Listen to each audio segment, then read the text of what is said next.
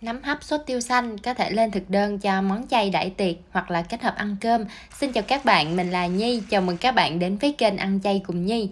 Nguyên liệu Nhi chuẩn bị sẵn rồi nè, đặc biệt là sẽ có nấm bào ngư, Nhi sơ chế sẵn, xé nhỏ ra.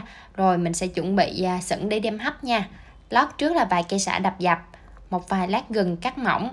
Nhi sẽ cho cái phần nấm bào ngư vào luôn hoặc cả nhà cũng có thể chọn các loại nấm yêu thích khác nữa nha. Mình sẽ đậy nắp và đem hấp khoảng 10 phút. À, trong lúc đó thì như chuẩn bị những nguyên liệu đi kèm. Ở đây thì như sẽ kết hợp chung với lại vài trái bắp non. Như cũng luộc sơ vớt ra tô nước đá lạnh rồi như sẽ bày lên trên dĩa trước. À, nếu mà đại tiệc thì cả nhà có thể sử dụng cái à, chảo hộp sòi giống như đang xài đây nè. Đó cái chảo này thường á, các đám tiệc á, mình sẽ trình bày đồ ăn xong rồi làm nóng ngay tại bàn tiệc luôn. Đầu tiên là như lót cái phần à, bắp non trước phần nấm bào ngư hấp lúc nãy nè. Rồi thêm rau răm như sẽ cho xung quanh. Một ít ớt sừng không cay như cắt sợi nhỏ. Do có nhiều nấm mình sẽ thêm một xíu gừng cắt sợi nữa cho ấm bụng với dễ tiêu hóa hơn. Như cũng rắc phía trên mặt giống như thế này đây. Rồi bây giờ mình chỉ cần làm cái phần sốt tiêu xanh nữa thôi. Vài nhánh tiêu xanh như sẽ giả nhuyễn ra trước. Và cái vị nước sốt ngày hôm nay nó sẽ nghiêng về cái vị bơ mắm một xíu ha cả nhà. À, như có cho là bơ thực vật nè. Như không dùng dầu ăn luôn.